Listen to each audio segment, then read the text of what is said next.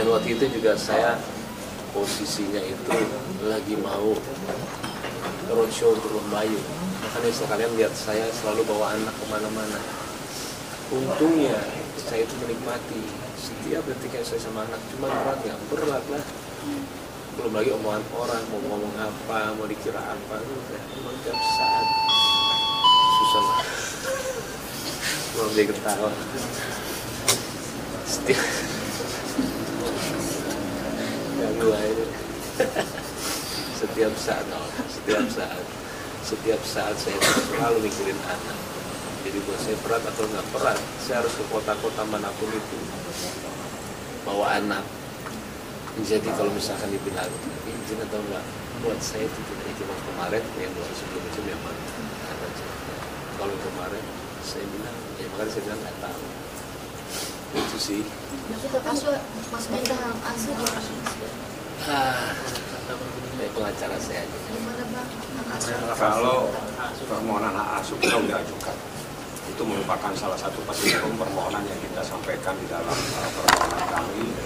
Alasannya ada 26 item persoalan yang kami sampaikan secara mendetail dan permohonannya adalah juga terkait dengan hadona anak yang di bawah umur dengan persoalan-persoalan yang kita sampaikan. Itu ini bukan hal yang mudah diambil keputusan. Cukup berat, tapi ini yang terbaik dan harus dilakukan di saat sekian tahun harus mengalami penderitaan yang luar biasa. Tidak gampang seseorang laki-laki mengalami keadaan seperti ini. Satu tahun bukan waktu yang cepat. Lama sekali dia harus menderita. Tidak sanggup. Akhirnya pengadilan diserahkan persoalan ini ke pengadilan. Seperti itu. Tapi sikap uh, Paula sendiri di saat diduga cerai sama kamu gimana? Anda tanya ke Pak. Mungkin Bang- ngobrol gitu sama Bang Fahmi perselingkuhannya sejauh mana terus apa ada melanggar hukum pernikahan nggak sih bang? itu otomatis Anda bisa tanya ke humas yang jelas 26 item itu adalah hal-hal yang luar biasa. Bahkan dengan ayat-ayat pun kita sampaikan. Jadi seorang wanita itu bagaimana perilakunya terhadap seorang istri terhadap semuanya ada. Dalil-dalilnya juga bukan hanya KUH bukan hanya eh, undang-undang perkawinan termasuk kompilasi hukum Islam termasuk ada beberapa hadis kita sampaikan. Bagaimana sikap seorang istri terhadap suaminya semuanya secara mendetail kita sampaikan. Detik kami sampaikan, kejadian tahun ini dan tahun-tahun kita sampaikan. Seperti itu. Ini hal yang berat. Mas Baim, ini yang harus Baim, Mas. Main mungkin ada kaitannya dengan postingan Kabaim yang dulu di Juni lalu terkait jangan ganggu istri orang itu ada kaitannya dengan hal ini bukan? Oh, jujur Iya jujur jujur. Jujur lebih baik mas. Saya yang tahu masalahnya dan keluarga yang tahu masalahnya. Kadang-kadang suka sakit hati melihat postingannya. Sakit hati itu kok begini ya? Akhirnya kita mungkin ada rasa kayak ah tapi lama-lama sekali dua kali posting saya takutnya jadi seperti itu saya mute semuanya dan saya ya intinya juga saya. Jadi setelah kejadian itu saya udah pernah lihat postingan dia semuanya. Yang buat saya tenang. Takutnya saya ada dendam. Karena tahu kejadian sebenarnya kan bukan itu juga. Saya tidak bilang dia apa dia apa cuman ya bilang dia aja ada maaf mungkin dari teman-teman dari- Kabaim, teman teman dekatnya Kabaim dari laki-laki ini dari nggak mas atau sama dari Paula juga? dari artis atau pengusaha atau apa kak?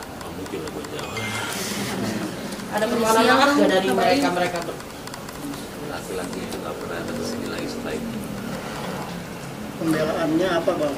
Tahulah ketika ketahuan Kalau dari laki-laki. nggak membang. Ada permohonan maaf. Tanya ke Paula, tanya siapa dia, tanya yang bersangkutan. Biar kita tidak menimbulkan fitnah, karena kalau ditanyakan ke Mbak fitnah nanti jadinya.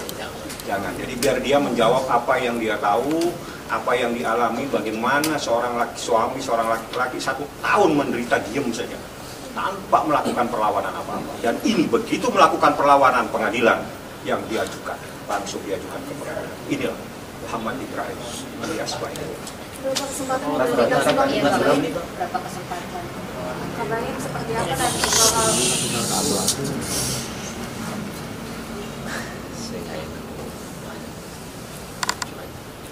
banyak kejadian cuma kita ambil yang intisarinya saja intisarinya pagar makan tanaman Apa bang menjadi titik bang eh, puncak untuk akhirnya berani speak up dan berani mengambil tindakan ini bang?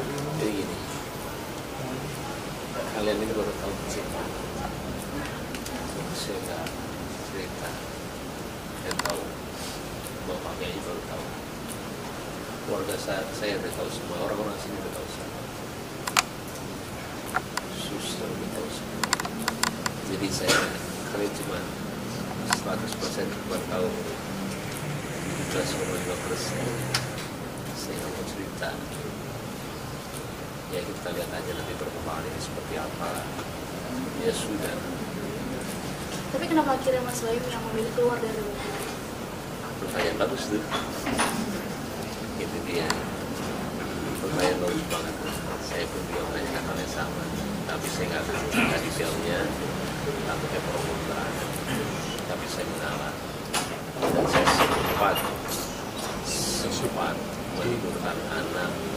Jadi saya selalu mendengarkan orang yang jadi kepala sekolahnya piano bilang kalau saya itu tidak boleh melihatkan berpisah sama anak-anak sampai 8 tahun.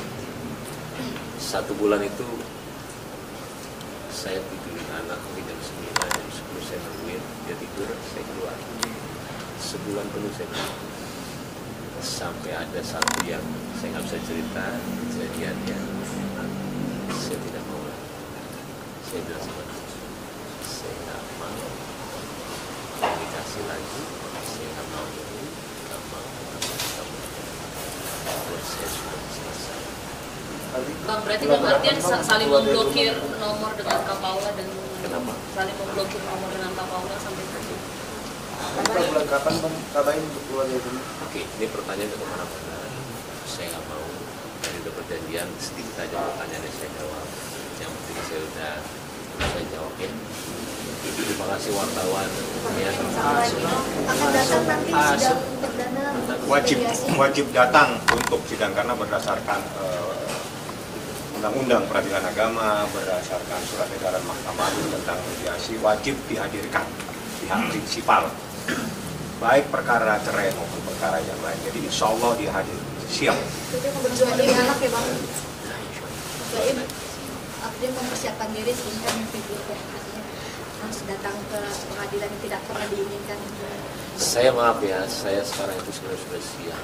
Apa pun itu yang terjadi sudah apa pun itu. Jadi saya percaya. Aja Udah, yuk